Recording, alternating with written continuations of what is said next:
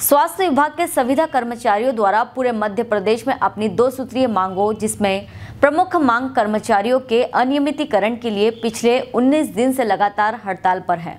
जिसके अंतर्गत आज सामुदायिक स्वास्थ्य केंद्र से गाँव में ब्लॉक संविदा कर्मचारियों के द्वारा धरना प्रदर्शन किया गया।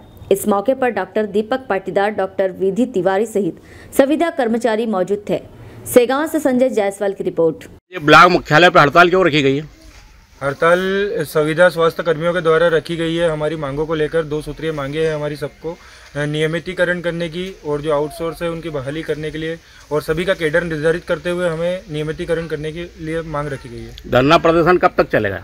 धरना प्रदर्शन अनिश्चितकालीन हड़ताल रखी गई है। जब तक हमारी मांगे पूरी नहीं होगी ये ये हड़ताल चलती रहेगी। ब्लॉक मुख्यालय पर धरना कब तक रहेगा? ब्लॉक मुख्यालय पे भी ये अनिश्चितकालीन हड़ताल चल रही है। क्या नाम लिखते हैं आप? डॉक्टर दीपक पाटीदार सी